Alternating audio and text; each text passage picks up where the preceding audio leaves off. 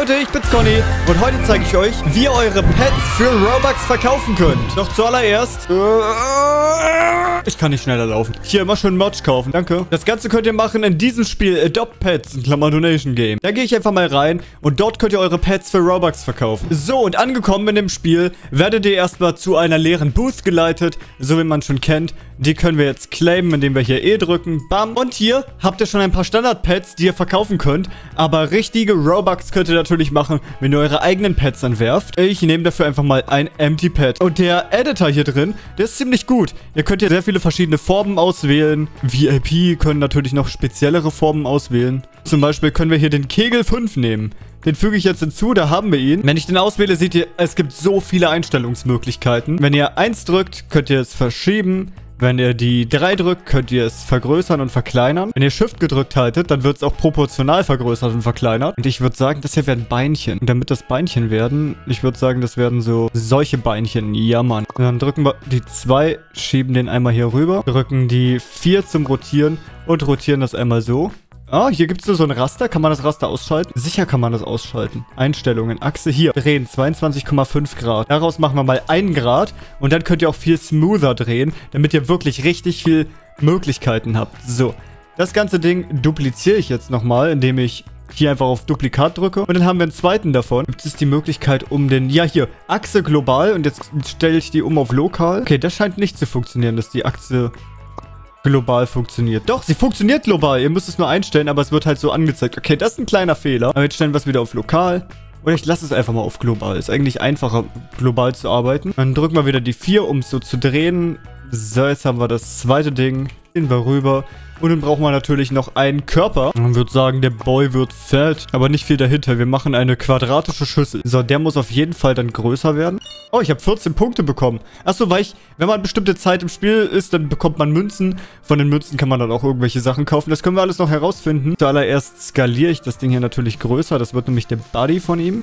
So. Also ich muss sagen, das ist wirklich von all diesen Donation Games das am besten umgesetzte, das ich bisher sehen konnte. So, jetzt haben wir so ein Schüsselpad. Machen wir den so? Ah, er muss noch ein bisschen größer, okay. Jetzt aber. Ja, jetzt passt das. Und das Ding wird dann auch wieder ein bisschen blauer, würde ich sagen. So ein hellblau. So ein typisches Roblox-Pad, halt eckig. Brauchen wir noch ein Gehirn. Dafür gehe ich hier auf die nächste Seite. Hier gibt es auch bestimmt ein Gehirn. Ein Schrägwürfel, na? Kugel 4. Nehmen wir Kugel 4. Das kommt doch nah ran an ein Gehirn. So, Kugel 4 haben wir hier. Ah, ich muss näher ranzoomen, um es auswählen zu können. Ja, ja. Ich habe Kugel 4, okay. Es ist schwierig, Sachen auszuwählen, die in anderen Sachen drin sind. Also sobald ihr etwas in einer Sache drin habt, vorsichtig sein. So, ein Gehirn wird natürlich so ein bisschen pink. Na, eigentlich dort, in dem Bereich, ne?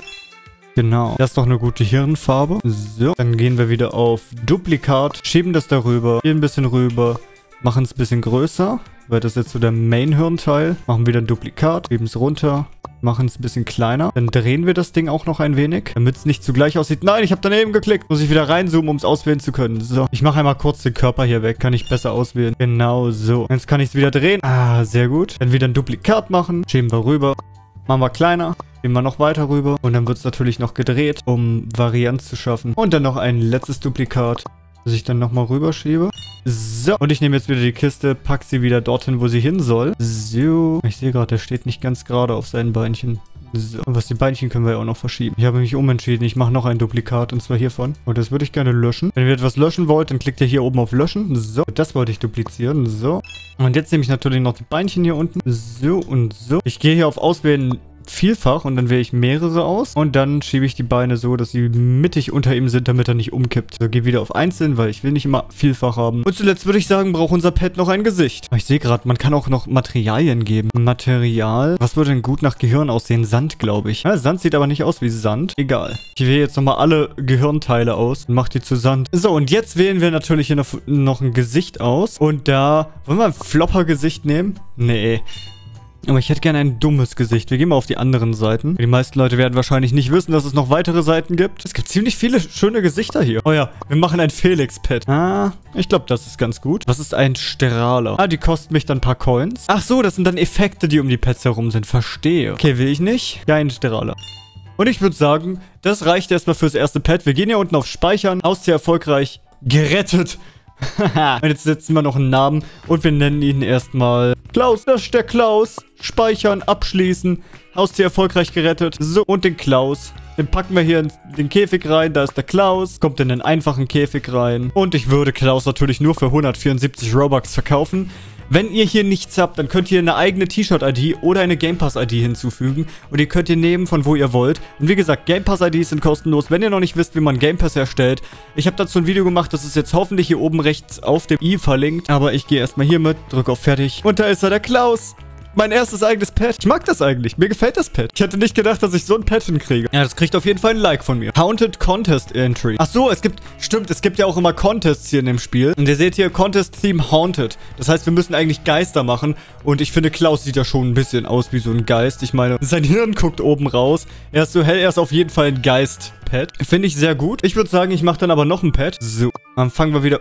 Augenblick, abbrechen. Crafter? Oh, ich dachte gerade, Crafter wäre gekommen. Das ist immer so ein Moment, wenn Crafter aus dem Nichts kommen. Okay, kurz gedacht. So, machen wir einen neuen. Wir gehen auf Einfügen und ich würde sagen, heute brauchen wir mal ein, wildes Pet. Vielleicht eins, welches aus Ringen besteht. Uh. So, Größe ändern. Machen wir mal die Soundeffekte ein bisschen leiser, weil die sind schon ziemlich laut. Da sind zum Glück nicht so viele. So, dicht drehen wir so. Wo hier, das würde ich gerne rückgängig machen. Wie geht rückgängig? Hier oben geht rückgängig machen. Okay. Weil jetzt stelle ich bei den Achsen wirklich 45 Grad ein damit ich nur noch um 45 Grad drehen kann. Damit habe ich jetzt mehr Kontrolle über die Winkel. Gehe dann wieder auf Duplikat und drehe das dann zweimal um 45 Grad, also um 90 Grad. So, sieht gar nicht so cool aus, wie ich es mir gerade vorgestellt habe. Egal. Und dann mache ich noch ein Duplikat. Den drehe ich einmal hier um 45 Grad und einmal hier um 90 Grad. Jetzt haben wir schon eine interessante Form geschaffen. Diese Ringe hier wähle ich jetzt nochmal aus. Und zwar natürlich gehe ich hier unten links auf Auswählen Vielfach damit ich die alle auswählen kann. Ich kann übrigens auch hier links einfach auf Auswählen klicken. Hätte ich eigentlich vorne machen können, geht viel leichter. Achse packe ich wieder auf Global. Und dann skaliere ich das größer. Oh, das Skalieren funktioniert nicht so ganz. Gängig machen. Also globale Achse beim Skalieren ist nicht ganz drin. Na gut, dann mache ich nochmal rückgängig. Dann wähle ich auch nochmal die beiden hier aus und lösche die. Und dann fange ich mit dem an und skaliere das erstmal größer. Weil die Ringe müssen wirklich groß sein. Sonst macht es keinen Sinn. So, jetzt nochmal. Duplikat drehen um 55 Ne, um 90 Grad in dem Fall. Dann noch ein Duplikat. Drehen um 45 und dann um 90 Grad. So, jetzt ist schon mal besser. Ich wähle dann all diese Ringe hier aus. Ich gehe wieder auf Auswählen Vielfach. Und heute... Wir sind bei Haunted. Ich glaube, ich bleibe bei diesem blauen Theme. Das passt einfach besser zu Haunted. Vielleicht nehmen wir diesmal Ice Material. Uh, shiny, shiny. Und packen die Transparenz etwas höher. Ah, vielleicht Neon? Wo ist Neon? Neon, Neon. Wo ist Neon? Hier ist Neon. Oh, nee, Neon lassen wir sein. Ist zu viel des Guten. Wir bleiben bei Eis. Dann gehen wir wieder auf Hinzufügen. Hauen hier jetzt noch eine kleine Kugel rein. Dann wähle ich die Kugel aus. Und die Kugel will ich in der Mitte haben. Please. Es wird schwer, hier die Mitte zu treffen. Wobei, das ist schon relativ mittig. Das will ich jetzt ein bisschen nach vorne ziehen. Vielleicht wieder ein bisschen nach hinten schieben. Von oben, von der Seite. Ja, das ist, das ist ungefähr die Mitte. Ich bin zufrieden. Okay, und das Ding kriegt jetzt ein starkes Blau und wird dann doch ein Neon. Ich wünschte, ich könnte diese Dinger hier noch animieren. Das wäre stark. Das wäre wirklich stark, wenn ich das könnte, aber das kann ich nicht. Jetzt braucht das natürlich noch ein Gesicht, und zwar das hier. Na gut, das Gesicht ist blöd. Dann vielleicht... Jetzt, jetzt ist es einfach so ein Pokémon. Ähm, das? Ja, das ist, das sieht nicht so nice aus. Aha. Ja, jetzt hat's ein Gesicht. Jetzt ist es ein Pet. Ab jetzt ist es ein Lebewesen. Das Gesicht passt. Es kann zwar nicht wirklich gucken in jede Richtung, in die es guckt. Das ist irgendwie verdeckt, aber es ist in Ordnung kann ich mir jetzt einen Strahler leisten. Ich gehe mal auf Strahler. Die kosten alle 1000. Auf der zweiten Seite auch. Da muss ich noch eine Weile warten. Ich habe gerade mal 486 Münzen. Und die Strahler, die es hier gibt, die gefallen mir alle nicht. Cyan-Schrauben. 38 Robux. Ah, fürs Video kann ich es einmal machen. Komm. Ah, Augenblick. Ich habe mir jetzt 5000 Coins gekauft. Das heißt, ich kann auch die anderen Sachen angucken.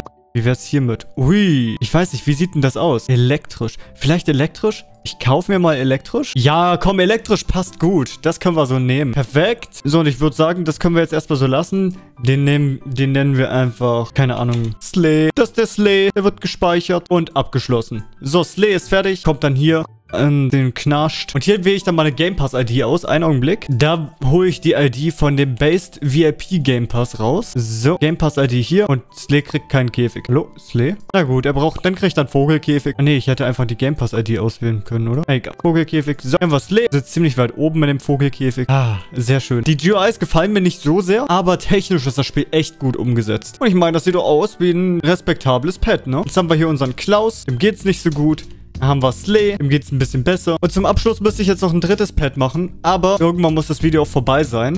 Das Geheimnis, um in diesem Spiel einfach erfolgreich zu sein, um viele Robux zu verdienen, ist eigentlich coole Pets zu bauen, die andere Leute noch nicht so gesehen haben.